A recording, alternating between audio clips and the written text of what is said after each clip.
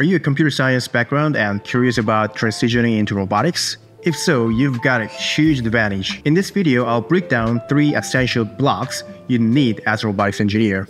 By the end, you'll have a very clear roadmap of the field. Or it's more like a minimap if you ever played a video games, so you know exactly where you are and you know where to go. How do I know? Back in the school, I started my journey in aerospace engineering. Then I discovered my passion for autonomous vehicles, which led me to pursue a dual degree in computer science. Then I went to grad school. I was young, ambitious, and ready to explore this fascinating field. Today, I'm sharing what I've learned so far to help those of you with computer science background who are curious about robotics engineering. So let's dive in. If you're new to here, my name is Elliot. I'm a robotics engineer and an educator, and I'm here to help you navigate the world of robotics with a very clear vision and confidence. So let's talk about the three main blocks of the robotics at a very high level. First, algorithms and math, and mechanics, and control engineering. So let's start with the algorithms and math, as you're likely already familiar with them. Imagine a robot, and it doesn't matter if it is a humanoid or a car or a drone. The robot is just navigating using stereo cameras indoor environment where the GPS signals are unavailable. Now picture the robot moving in a circle around, say a restaurant. How does it know its position at every given time? The answer lies in search algorithms, specifically SLAM, simultaneous localization and mapping. And SLAM algorithm itself is not search algorithm, but in it, uh, there is a search algorithm. And one very important step in SLAM is called loop closure, which relies on finding and matching the right features in the environment. So, what exactly is a feature? In the image processing, features are distinct points or patterns in an image. Using Python OpenCV, you can extract these features, which comes with their XY pixel locations, and their specific index. And this index is crucial for searching and matching the features. But here's the twist in robotics you are not just searching for a single feature, often you are matching groups of features to describe an entire scene. This group matching becomes the foundation of the scene detection in the loop closure. And here's where the deep learning comes into play, a method called superglue. And superglue can be used for feature matching. What makes superglue incredible is its ability to match features robustly even when the images are rotated or distorted. If you're curious about how it works, I've included the paper link down below. So to repo, you need a way of thinking an algorithm and then mix with the physical properties like image features and then kind of mix them together to make a search algorithm in SLAM, for example. And the second chunk of the robotics is about mechanics which forms the physical foundation of how robots move and interact with the world. And mechanics, in a high level, can be broken down further into three core areas dynamics, kinematics, and kinetics. And don't worry too much if these terms are too technical because they are essentially extension of what you have learned in Physics 101. And let's dive in into each one. First, dynamics, and it's a study of forces and motion. Dynamics is all about understanding the relationship between the forces and motion.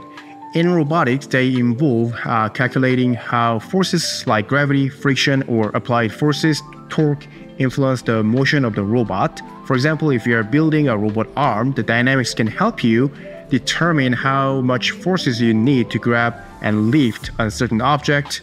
If it is a drone, about balancing the thrust, drag, and uh, weight to keep it stable and then moving around in the 3D space. And in daily life, in practice, what I always do is drawing out the free body diagram, which literally balances the force on a rigid body so, for example, if there's a rigid body in the in the 3D space, and there is always a gravitational force, which is weight, and that if I need to make this rigid body, a drone, need to go up, then obviously I know that I need a lift force, the opposite direction of the weight. So that's about dynamics in, in a very high level. And the second block is about the kinematics Kinematics is about the geometry of motion. So kinematics focuses on the motion of object without thinking about the forces. I know it sounds kind of weird because how can an object move without force? But here's what I mean. As an example, uh, if you have a car and if you have a destination, you know what is the minimum average velocity for this car to reach to this destination and what is the velocity required. Or if it is a robot arm, you need your robot arm's endpoint from point A XYZ to another point B XYZ. Then what are the angles of all your joints for the robot arm to move around. So, and you heard about forward kinematics and inverse kinematics when it comes to robot arms, and this is the kinematics I'm talking about. So you don't have to really think about the force. Instead, you're thinking about the required angular position, required velocity, and so on.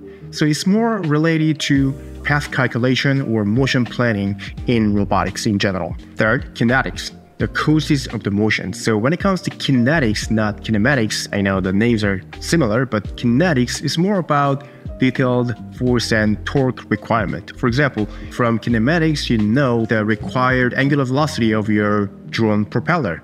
Then to be able to generate this requirement, then what is actual torque and what is actual battery consumption so that you can calculate the battery life of your drone. How long can it fly? Or if it is a robot wheel sleeps on the ground, kinetics help you calculate the frictional force at play. For a humanoid robot walking around, it considers how forces from the ground impact stability and the movement of the legs of the humanoid robot. So to wrap up, kinetics is particularly important when designing robots that interact with their environment in a dynamic way, such as robotic legs or arm walking on uneven terrain. So to wrap up this second block, mechanics, in practice, I don't really focus on this the definition of the word. What is kinematics? What is kinetics? What is dynamics? What's difference? I don't really think like that. Instead, focus more on the problem solving, how they kind of work together, how to analyze your uh, robot as a rigid body.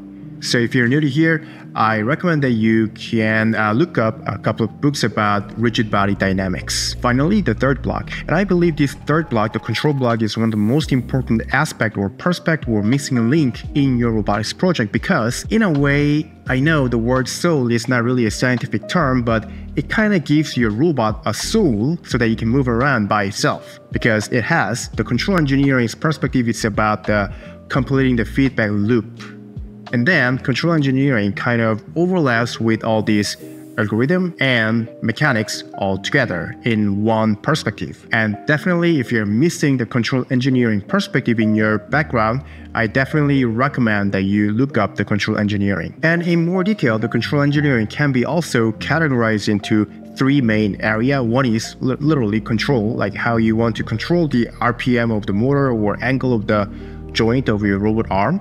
And then the second block of the control itself is the state estimation or sensing. So usually the robots have multiple sensors like LiDAR, inertial sensors, and then visions. And then you want to somehow extract the information and then kind of mix them together so that you can estimate your current position, velocity, and so on. And then these kind of algorithms are called Kalman filter or Bayes filters and so on. Now, optimization and decision making can be the last part of the control, but it's still very important. So optimization is literally what could be the optimal path to reach from another point to one point. Or when it comes to decision making, like my previous project, you detect the human gestures and then decide and classify using the neural network which gesture it is, and then make the decision whether your drone need to take off or land or track the object. So that's about decision making. And then the magic of this control is that it comes with the control block diagram. This control block diagram is literally your game changer because it gives you the perspective which part you need to put in your project. For example, PID controller implementation. And then when it comes to plant, it's literally about the dynamics of your robot, like forward and inverse kinematics. You know the system behavior, then you can design the controller, PID control. And then using the sensors like observer or state estimator, you can actually sense actual position of your robot and then you can feedback to this loop. Then when it comes to state estimation, it's really a large thing. It can be you know, combined with a computer vision like OpenCV or uh, extract the features and then you can build your SLAM algorithm in it. So that's why I said you have really a huge advantage when it comes to this kind of implementation.